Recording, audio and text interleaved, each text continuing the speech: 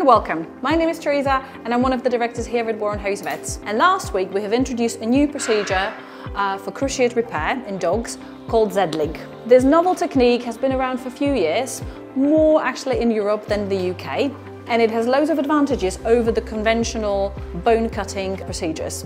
We invited a visiting surgeon who has done the procedure before and who was mentoring us and obviously provides also help in the post-operative period. The technique was, uh, it was designed by a French human surgeon. They had problems at the beginning and they eventually found the right pattern for the ligament and he's been very successful doing it in a lot of sport people like skiers, cyclists and things like that all over the world. The technique came to the veterinary world because one of his dog broke the cruciate and took it to the local vet and then he, he discussed why don't you do this and that's why the technique started.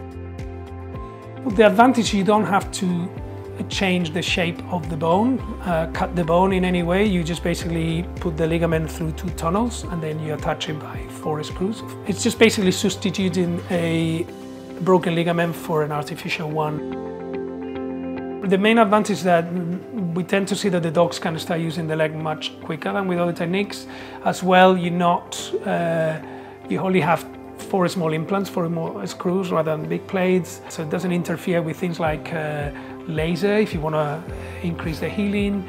Uh, but generally the most uh, advantageous things I've seen uh, in the recovery part is that they can start using the leg pretty quick, which is the main thing because most of dogs that damage the cruciate will have a predisposition to damage the other one.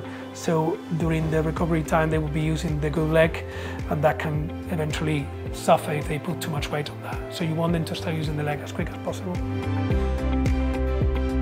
So as you can see, there are many advantages to the Z-Lig operation. We're really happy to be adding this to the list of surgeries we offer for cruciate repairs. If you would like to know more, come to the practice with your pet and have a chat with us. Really grateful to Carlos as well for talking to us on the camera and helping us here at the practice. I'll see you with the next video. Please consider subscribing. See you next time.